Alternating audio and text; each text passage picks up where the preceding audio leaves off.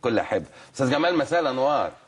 مساء الفل يا كابتن يا أهلاً وسهلاً. صديقي العزيز آه، أستاذ عصام الحسن. أهلا بيك وكل سنة وانت طيب يا جماعة قول لنا أذان صاغية يا جمال بيتفضل الله يكرمك يا كابتن مدحت أنا بس عايز استسمع حضرتك في حاجة. يعني أنا كل التقدير والاحترام للكابتن إبراهيم حسن نجم كبير وله تاريخ ومحدش يقدر ينكر ابدا الكابتن إبراهيم حسن ولكن هو حاليا مدير الكرة في نادي الزمالك. فأنا أتمنى وأناشد الكابتن إبراهيم حسن عندما يتحدث الإعلام يتحدث عن شؤون نادي الزمالك وفريق نادي الزمالك. إنما هو حضرتك طالع يتحدث في شؤون داخلية خاصة بفريق النادي الأهلي منها مشاكل لسيد معوض وتجديد عقد وخلافه وحضرتك تفضلت ونفيت هذا الأمر ولم يحدث. أنا أتمنى إن الكابتن إبراهيم حسن وكل تقديري واحترامي الكامل له ان يتكلم عن فرقة نادي الزمالك ومشاكل لاعبي نادي الزمالك إن وجدت.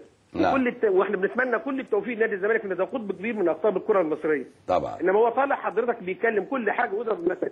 أنا أتحدى يا كابتن مدحت بعد إذن حضرتك لو جبت الكابتن هادي خشب على التليفون أو الكابتن حسام البدري أو أي مسؤول في النادي الأهلي دلوقتي هيطلع يقول لك أصل لعيب نادي الزمالك بياخد كذا أو بيروح كذا وعنده مشكلة. مستحيل. مم. هو راجل منوط ومكلف بمهمه معينة بقرار مجلس إدارة واخد بال حضرتك في النادي الأهلي. ما ينفعش يطلع يتكلم حضرتك على نادي الزمالك. لا لازم لازم نحترم بعض. أكيد. انما سيد معوض لا عمل مشكلة؟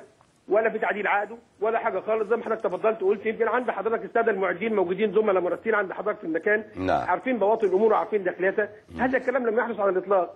ومع هذا واخد بال حضرتك نحن نقدر ونحترم الكابتن إبراهيم حسن ولكن نناشده عندما يتحدث يتحدث عن أمور نادي الزمالك وفريق نادي الزمالك ونتمنى له كل التوفيق.